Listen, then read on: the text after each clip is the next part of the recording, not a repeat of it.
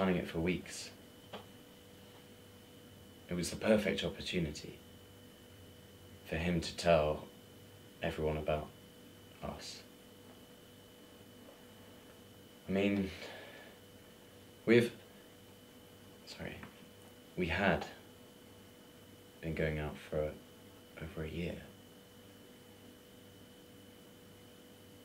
And he still hadn't told any of his friends about us. It was like he was ashamed of me.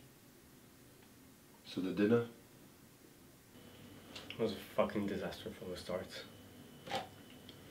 And this guy, you know, this this guy of his just couldn't stand him.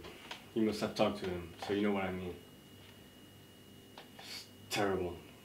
Just couldn't stand him, you know?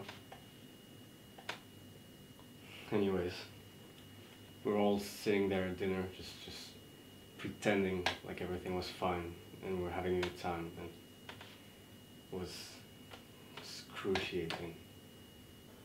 I didn't have much to say really. I was definitely a bit nervous for the meal. I could tell something was up, but he wouldn't tell me what, no matter how much I asked. But I went anyway because I've known him all my life, and what else was I supposed to do? It was just uncomfortable, and somebody said something, and it, it all got out of control. There were people shouting. As, as far as I can remember, they were they were all shouting, and I just sat there. I didn't know what to do. We'd been together for a year, and he couldn't even summon up the courage to tell his best friends. So I had to. And that a homophobe. Making jokes about our love, our lives. So I got angry. I got really angry. And then And then what? So then I stormed out. I just wanted to be by myself. I had to get out of there.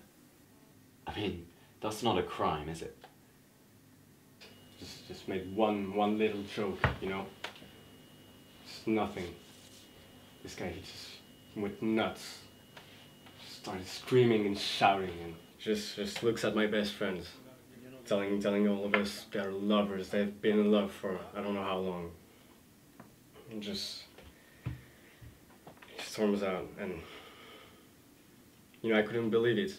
My best friend's a fucking fraud. So yeah, yeah, yeah. Maybe, maybe I was I was deceived and yeah, I was angry I guess. So maybe, maybe I had a bit of a go at him. So what did you do? Well, I had a drink, maybe two. I, I used to have a problem with alcohol, but not for a while. Not until last night, anyway. Um, so I may have had a bit too much, and I just got angry. I just felt angry with, with everyone, not anyone in particular. I don't, I don't think. Then he came to see me later, and I just lost it. I wasn't in my right mind, and I got angry at him. I think just because because he wouldn't tell me.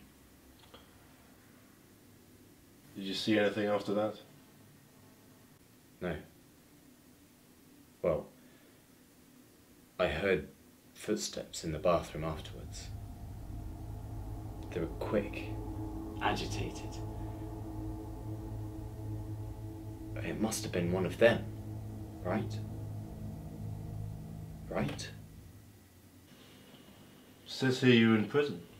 Anything you'd like to say about that? Has nothing to do with that. Six months is a long time. Has nothing to do with that. It's in the past. It's dealt with now, okay? And I know, I know what you're thinking, okay? I didn't kill him.